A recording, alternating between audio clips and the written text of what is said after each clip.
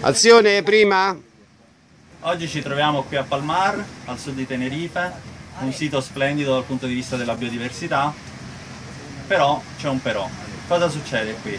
Purtroppo dal Sudafrica è arrivato, non si sa come, magari attraverso l'acqualizzatore delle navi, attaccato sotto una nave, importato in qualche modo, sicuramente a causa dell'uomo, è arrivato un riccio e questo riccio sta rompendo quello che è l'equilibrio naturale della zona.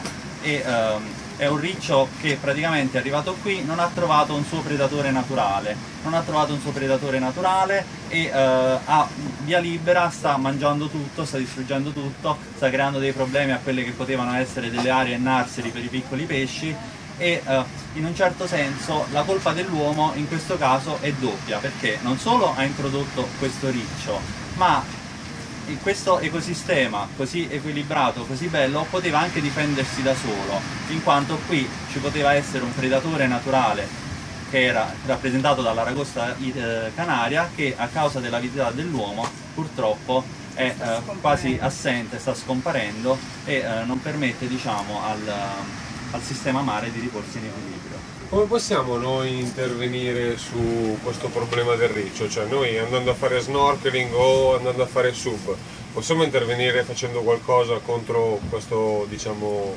persecutore o questo invasore? Attualmente eh, i diving sono autorizzati a eh, diciamo, contrastare l'azione e l'opera di questo riccio e eh, infatti spesso eh, quando si va in immersione eh, si uccide questo riccio. Tutto ciò non deve sembrare qualcosa di crudele, ma è semplicemente un modo per, eh, diciamo, una piccola azione da parte dell'uomo per rimediare a quello che è stato il suo errore fatto in precedenza.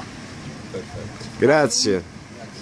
Comunque se eh, al di là dell'azione dell'uomo, se non eh, fossimo stati così, così avidi, avessimo lasciato la ragosta, non avessimo sfruttato questa risorsa così tanto, il sistema sarebbe stato in grado di equilibrarsi da solo.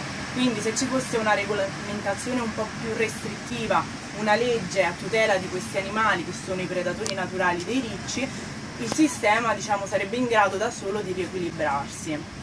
Quindi speriamo bene. Bene, buona gaccia a tutti quanti, grazie. Dal Palmar per che cos'è Tenerife, una nuova iniziativa per salvare l'ambiente di Canarias. Grazie a tutti. Grazie.